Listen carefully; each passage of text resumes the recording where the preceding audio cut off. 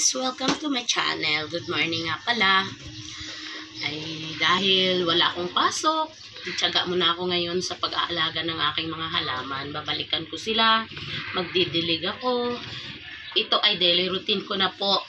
Mula nang nagka-pandemya po tayo, dito na rin po ako kumikita pang dagdag sa aming mga ah, panggastusin.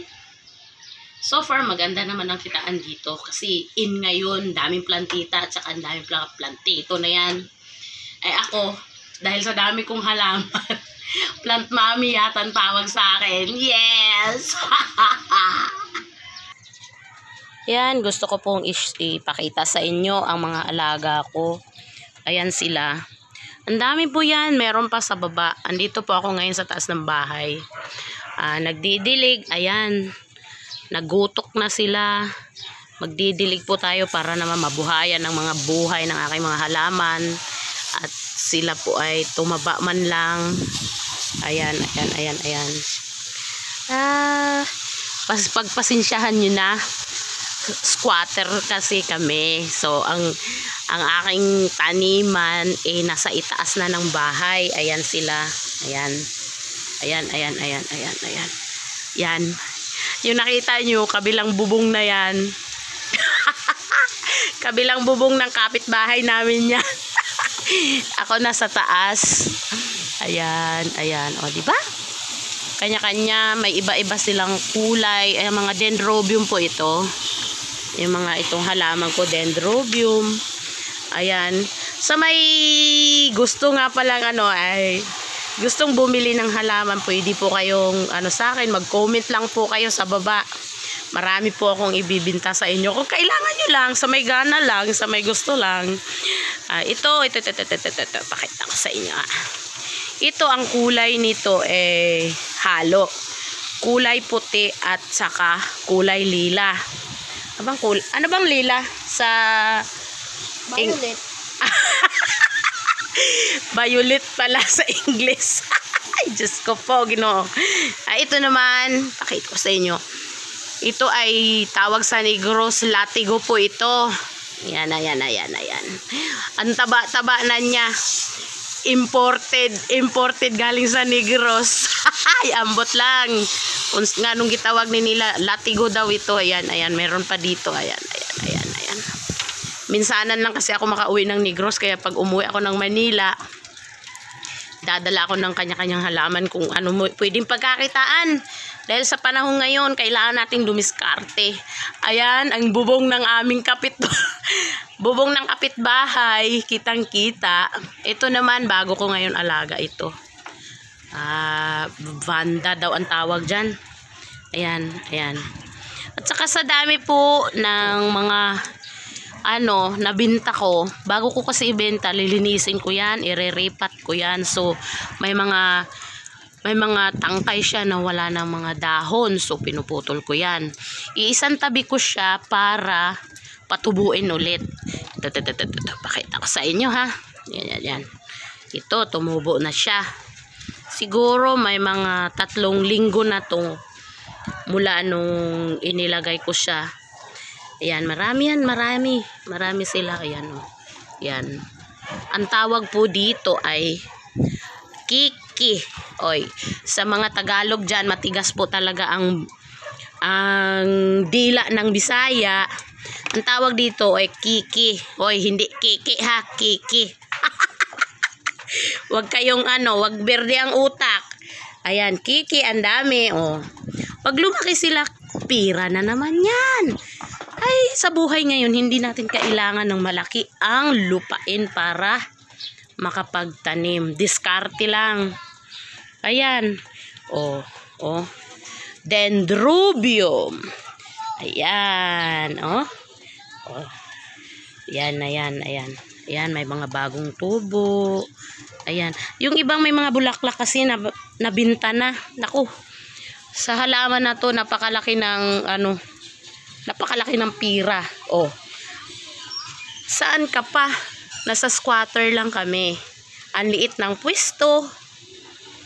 Ang liit ng pwedeng pagtaniman. Paso lang. Pero, nakapagtanim at nakapagpalago ako. Ayan sila, ang dami niyan. Yan, mga dendrobium. Simple lang mag-alaga ng halaman, kausapin mo lang. Kung may ihi ka, oy take note, hindi po nakakadiri. Ihi po ang diskarte ko dito para mapataba sila. Ihi.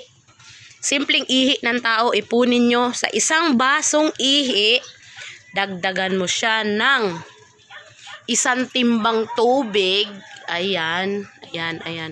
Di ba ano kasi against the light yung cellphone lang ang gamit ko. Poor kasi ang inyong lingkod. Ay, nakatayo pala. Ay! Ayan, aking mga halaman. Ihi po, ihi. Proven po. Ako'y probinsyana, itatanong nyo po. Kung totoo bang ihi, eh pwedeng idilig. Isang basong ihi plus isang timbang tubig equals pandilig na siya. Minsan naman, ang ginagamit ko dito ay betchin. Ah, kung hindi po kayo naniniwala, ay curious po kayo, pwede nyo pong i-google kung ano ang kahalagahan ng bitchin para sa pandilig ng halaman. Ayan, ang tataba nila. Ayan. Oh, lipat naman tayo sa kabila kasi ang dami kong halaman talaga. Ayan, ang daming kiki oh. Ang dami oh. Oo, tumubo na sila oh. Meron pa ito bago kong tanim yan kasi meron, kaya nagripat ako kasi merong order. Kikita na naman ang inyong squatter girl. Okay, lipat tayo sa kabila.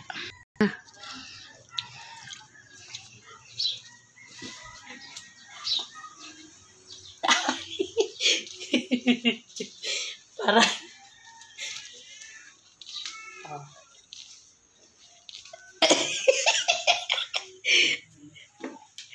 Sabi video.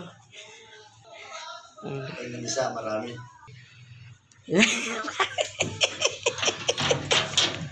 Agay, ginoo, Lord.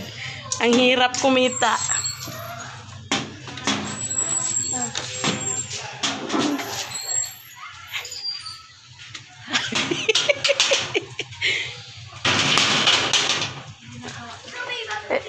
Nagbablog. Yung channel ko kasi na-verified na eh. Ay, pag umabot ng ano to, kikita na to. Ayan, nandito tayo sa labas ng bahay. Oh, welcome, welcome. Andito sa, oh, ito, ito, pakita ko po sa inyo. Ang taba na. Palmera to, palmera. Ayan, ayan, ayan, ayan, ayan, ayan. Palmera, bagong patubo ko siya. Kasi ang malalaki na binta na. Wala kasing trabaho, wala kasing walang kita, kulang sa pang subo, walang pambiling bigas. So, pinambinta ko na ang mga malalaki. Kasi pag malaki na, malaki rin ang presyo. O, ayan. Ito naman,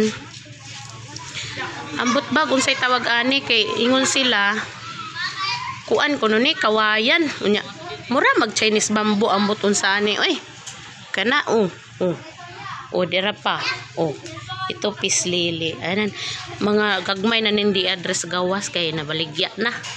Kay lisod, kay pangabuhi on ron sa Manila. May pangpulit anik bukid. Wala pa'y, walay ano, walay COVID bukid. O, ayan, ayan, ayan. O, kunti lang ang, ano, alam kong mga pangalan nitong, ano, ang hirap maging squatter talaga. Kasi, gustuhin mo mang magtanim, hanggang ganyan ka lang, hanggang pasok ka lang, yan lang ang pagmamay-ari mo. Ayan, ayan, ito, ito, ito. Ito naman, itong lahi na ito, ambot. Unsay ngalan, ani. Kuha na ako ni sa ano, dito sa pabrika, kung ipangayo, kung ang gibali. Okay ni naman daw, fortune plant. Ayan, may buyer na to. Ilipat, ilipat na lang to sa paso na maayos. Ayan, ayan. Kasi dyan lang talaga, poor na poor tayo. O, ayan. O.